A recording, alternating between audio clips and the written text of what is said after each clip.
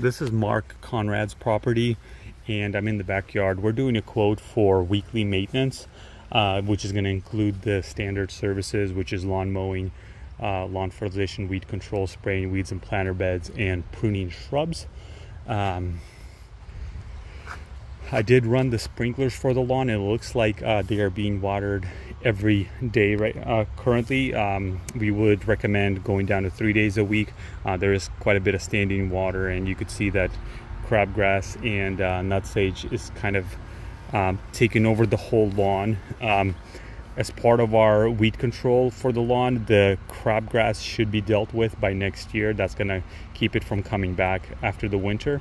Um, the, the sage we do need to treat that separately, so we'll provide a line item in the estimate to um, treat the nutsedge, which is a two times a year treatment that should um, stunt it for the summertime and then kill it off eventually. But um, it's a yearly thing that we do two times a year.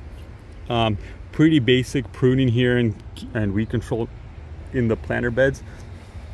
There is a volunteer here that's kind of taken over. It's growing from under that fence right there. We'll provide a separate line item to go ahead and cut it down. And then as part of maintenance, if that, if it ever, or when it starts coming back, we'll treat that as a weed. We'll just spray it to kill it off.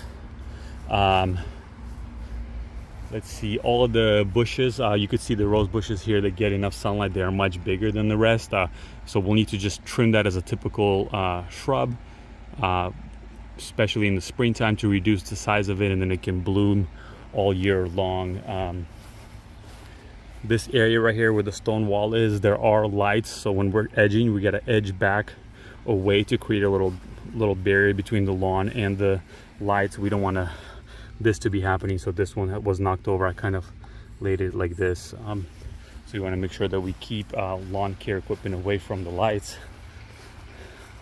So very typical here. Um, this is the really wet area that I was talking about. Uh, looks like there's just no drainage. So if we reduce it down to three days a week watering, that should help a lot with this kind of stuff right here.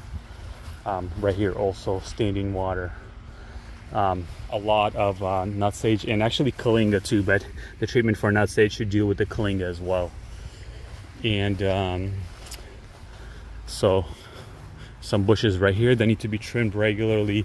Uh, we definitely need to make sure to keep this uh, the size of this bush down because if we let it, it will get taller than the house. We got to make sure we maintain it and keep a clearance right here for the gate to be able to open and close.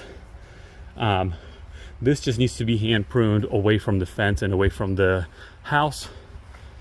It's a multi-trunk tree. I've seen these as bushes as well, but just you can see where it's been pruned before. We just need to keep the size down to about what it is right now. And it's a very typical front yard. I'm not gonna record it right now because I have to go through the house, but our basic services and it's just nothing, nothing's different about the front yard.